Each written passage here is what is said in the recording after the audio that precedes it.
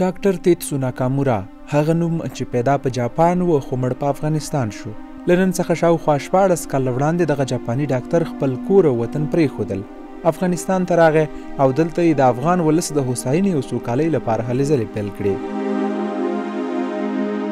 ډاکټر او په پیل کې یې خلکو ته روغتیايي خدمات وړاندې کول خو وروسته د صحي اوبو د زیاتوالي او سپیرو دښتو د آبادولو او زرغونولو په فکر کې شو. ښاغلي ناکامورا په افغانستان کې د روغتیايي خدمتونو، ټولنیزې بسیاینې او د کرنې په موخه د ځمکې د آبادولو په برخه کې ډیر ګټور او رغنده رول لوبولی دی. په افغانستان کې یې زیات شمیر د صحي اوبو څاګانې، کانالونه او پارکونه جوړ کړي دي. له شپږ لکو څخه زیاتو کسانو ته یې د کار زمینه برابره کړه. زرګونه هکتاره ځمکه یې د کرهڼې وړ کړه. مکتب یې جوړ کړ، مسجد یې جوړ کړ، کلینیکونه یې جوړ کړل، خو لا یې بس نه و ویلي او زیات شمېر نور کارونه یې اوس هم تر لاس لاندې درلودل. ډاکټر ناکامورا په ننګرهار کې زرګونه جریبه ځمکه کې کانالونه او د اوبو د کنټرول زمینه برابره کړې، ځمکې خړوبې کړې دي. هغه خدمتونه چې ده د زراعت او د اوبو د کنټرول په برخه کې کړي دي، په تاریخ کې به یاد وي. د ختیځې سیمې اوسېدونکي د ډاکتر ناکامورا پر وژلو خفه دي.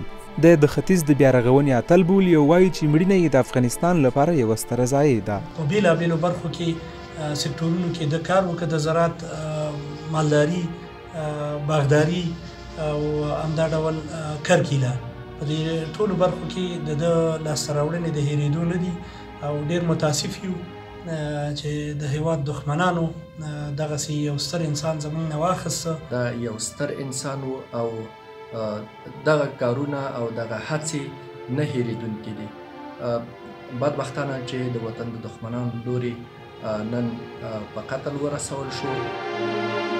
ناکامورا یو عاجز او بې ضرره انسان بلل کېده. سره د دې چې نوموړي د خلکو د هوساینې او د افغانستان د زرغونتیا لپاره کار کاوه، نو بیا ولې ووژل شو؟ د چارو شنونکي او فعالان د نوموړي وژل کېدل د ګاونډي هېواد کار بولي. دا نه په پټه وایو، دا نه غلې کوو، نه دې خبرې که ډېر تحقیقاتو ته حاجت شته.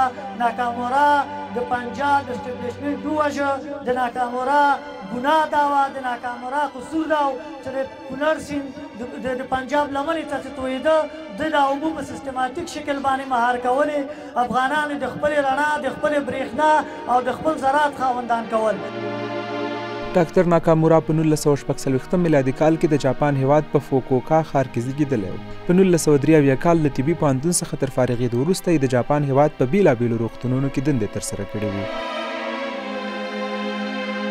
ناکامورا د بېلابېلو فرهنګونو د پیژندنې او په نړیواله کچه د بنسټیزې همکارۍ له امله په 2014 کال کې د فوکوکا جایزه ترلاسه کړه. نوموړی په 2003 کال کې افغانستان ته راغی. د روان کال په اکتوبر میاشت کې ولسمشر غني د ناکامورا د فعالیتونو او کارونو قدرداني وکړه. او نوموړي ته یې د افغانستان افتخاري تابعیت هم ورکړ. ناکامورا اوس جاپاني ولس له افغانه بلل کېده او د افغانانو په زړونو کې یې ځانګړی ځای درلود.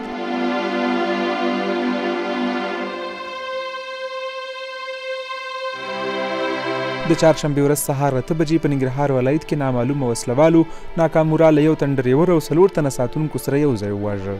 ولسمشر غني دغه پېښه په سختو ټکو غندلې او د پېښې د ژر څېړنې امر یې هم کړی دی. ولسمشر غني په یوې اعلامیې کې ټولو افغانانو ته د تسلیت مراتب وړاندې کړي او ویلي دي چې په دې اړه د جاپان له سفیر سره غږېدلی او د افغان ولس په استازیتوب یې ورته د تسلیت او خواخوږۍ مراتب وړاندې کړي.